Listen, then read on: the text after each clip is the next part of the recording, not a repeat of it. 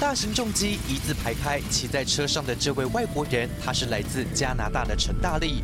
平常爱跟几位喜欢骑重机的朋友在大马路上兜风踏青，这是他最爱的一件事。而陈大力还有另外一个身份——美语老师。每天固定时间都会来学校接小朋友到自己开的美语补习班上课。What day is Mother's Day? August 8th. August 8th. Good. And when's the high day? No, every day. 课堂上跟小朋友有说有笑。陈大力星期一到星期五教美语，周休假日就带老婆和小孩到户外去露营，不只跟家人培养感情，也结交新朋友。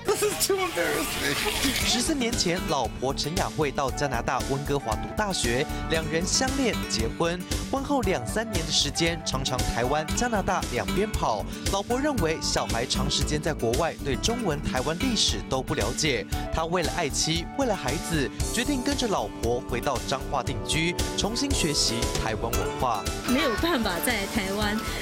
呃，生存的一个地方就是交通和食物。他说他压力好大，他没有办法在台湾开车。然后食物的话呢，没有办法吃台湾的食物。他说汤要浓汤才是汤，其他的那就汤汤水水，那喝了一下就肚子饿了。陈大力努力在台湾生活，来台九年，这里已经是他第二个家。我们会后悔回来吗？No，Why？老婆在哪里，家就哪里。怎么说？我爱你。Why? What you wanna say Oh, to I me? just said it. 我爱你。一句话不后悔，说得很肯定。